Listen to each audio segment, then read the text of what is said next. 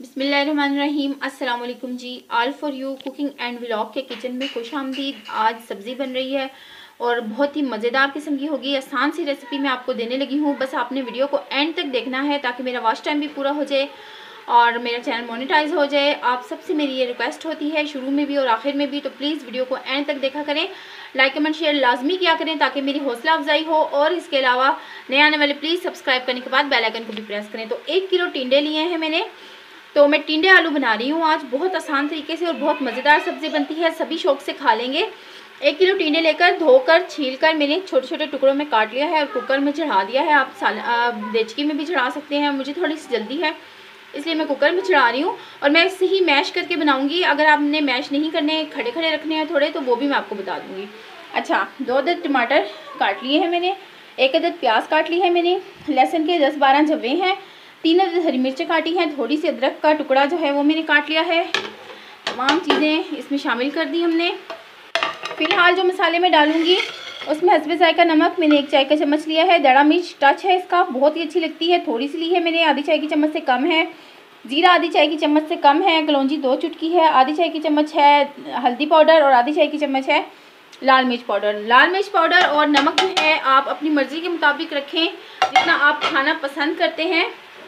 अच्छा अब मैं इसमें डालूँगी एक गिलास के करीब पानी और कुकर को बंद कर दूँगी मैं तकरीबन छः से सात मिनट के लिए। और छः से सात मिनट में मैं बाकी की तैयारी करूँगी, आपसे मिलती हूँ।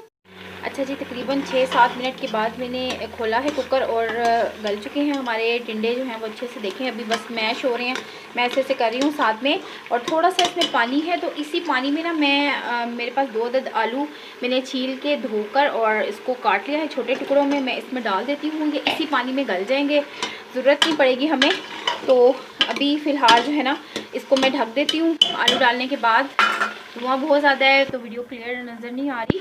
तो मैं इसको ढक देती हूँ। तकरीबन छः सात मिनट में आलू गल जाएँगे। इसको पकते हुए तकरीबन तीन मिनट हो गए हैं तो दो चम्मच मैंने दही भी शामिल कर दी है इसमें। इससे बहुत ही अच्छा सा टेस्ट बन जाएगा इसका।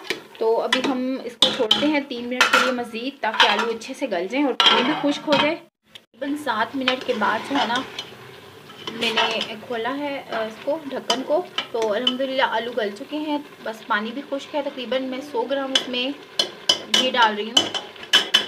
आप ऑयल डालें या घी डालें और अपनी मर्ज़ी के मुताबिक डाल जितना आप डालना चाहते हैं। वैसे इसमें थोड़ा सा ज़्यादा ही ऑयल या घी डलेगा। और इसको डालने के बाद जो है ना, हम इसकी भुनाई करेंगे।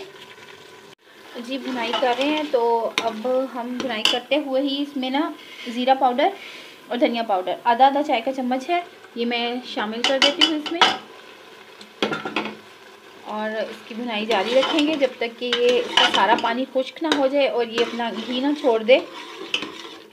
मैंने आपको बताया था कि बहुत आसान और सिंपल सी रेसिपी है, लेकिन बहुत ही मज़ेदार है। गर्म गर्म चपातियों के साथ बहुत अच्छी लगती है। तो अभी भुनाई जारी है इसकी। अच्छा जी, अच्छी सी इसकी हो चुकी है भुनाई। पानी सारा खुश्क हो गया है। अब हम यहाँ पर गर्म मसाला छिड़केंगे। पिसा हुआ गर्म मसाला है, वो छिड़क दिया है। एक हरी मिर्च डाल दी है मैंने खुशबू के लिए। और यहाँ पर मैं हरा धनिया डाल रही हूँ।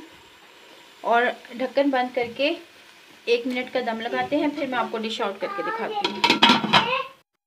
अल्हम्दुलिल्लाह जी, आलू टिंडे की सब्ज़ी जो है ना, बहुत ही मज़ेदार तैयार हुई है। और अल्हम्दुलिल्लाह बहुत अच्छी लुक है, बहुत अच्छी खुशबू है और बहुत अच्छा टेस्ट है। तो इसी तरीके से बनाएँगे तो इन सब पसंद करेंगे।